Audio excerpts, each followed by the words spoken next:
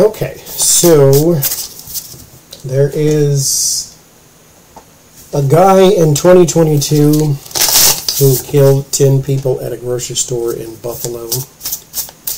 And the courts right now, they will read the thing. Whose article is this? I forget. CNN. It says the court has determined the complaint sufficiently pleads viable cause of action to go forward at this stage of litigation. So what they're doing is, in her decision, the judge said the plaintiffs may proceed with their lawsuit, which claims that social media companies like Mega, or oh, it's not Meta, Meta, Alphabet, Reddit, and 4chan, Alphabet is Google and YouTube, profit from racist, anti-Semitic, and violent material displayed on their platforms to maximize user engagement, including the time that the 18-year-old Peyton Gendron spent on their platforms viewing that material. And so basically, this judge is saying that these companies can be sued because, or the lawsuit can go through, that they can be sued, because they put this stuff on their platform for profit. Well, I shouldn't say they put it there. They allow it to stay there for profit. Now, here's here's one little tiny sliver of I don't know. Um, whatever. this benefit of the doubt, I guess. YouTube and Reddit Reddit, not so much. More so YouTube. They're not run by people all the time. They're run by computers that look for words and phrases and images and things like that. So, for instance, there is a a person. Um, oh gosh, what is this channel? Anyway, there's a guy, he does like um, reviews on supplements, and he talks about supplements, and because he does bodybuilding and, and he does a lot of weight gain type of stuff and all that kind of stuff. He talked about a video he had where it was taken down by YouTube because there was nudity in the video. Now they do crack down on that type of stuff, right? But what was the nudity in the video? There wasn't any. But if a human being was sitting there watching that, they, he was sitting down, all you could see was from his, his chest up or torso up. He had a shirt on, so I can't even say that. And that's it. There was nothing on the bottles he was holding up because they're supplement bottles.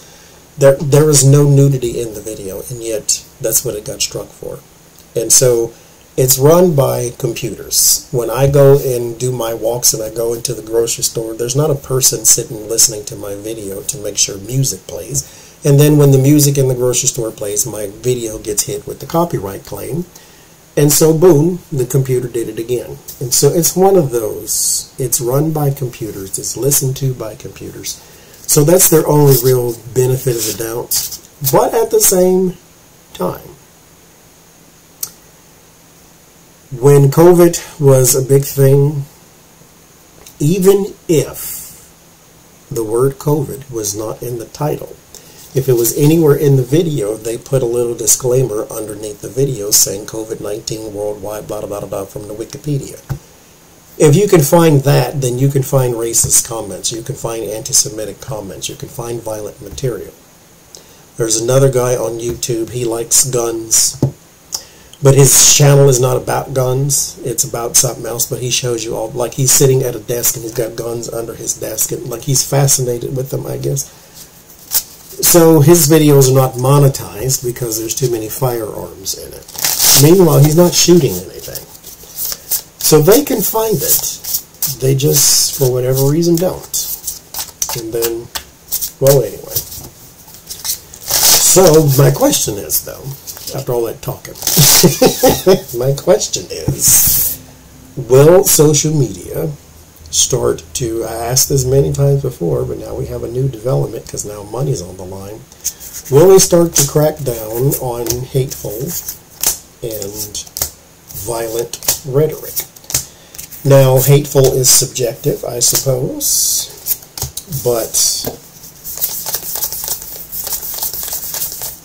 you can say the rhetoric that is that has the potential to radicalize a person. Me saying I hate Mitch McConnell is more than likely not going to, or more likely than not, not going to send a person into a craze to do something stupid. So, the Ace of Wands and the King of Wands. There is a new action by those in charge there.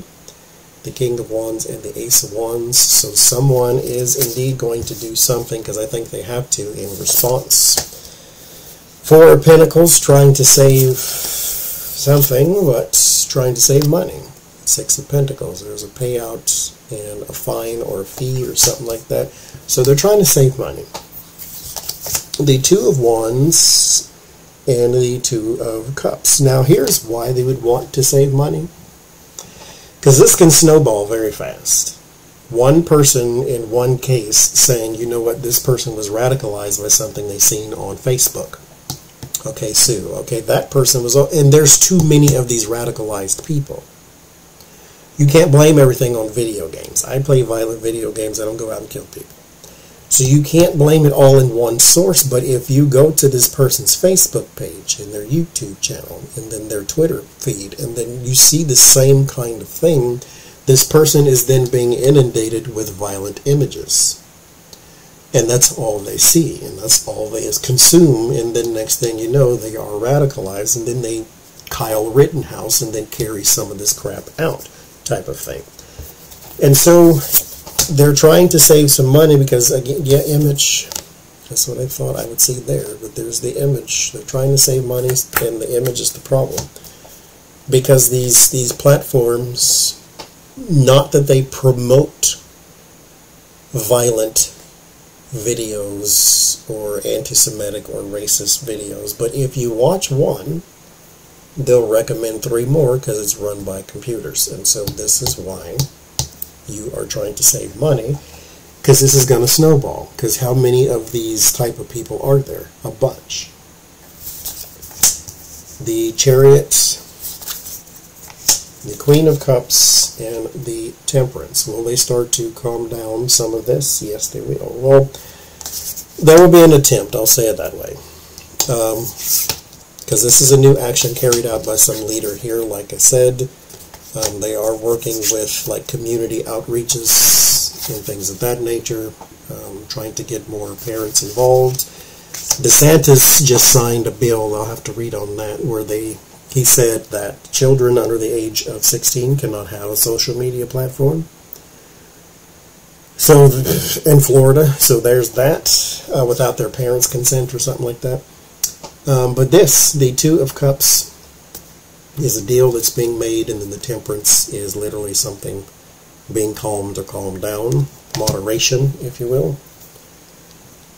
So there will be a team effort on this. So this is, like I said, community. This is more of a community outreach type of thing. So we'll see what they attempt next. More guidelines, more things to box people in, that type of thing. So we shall see.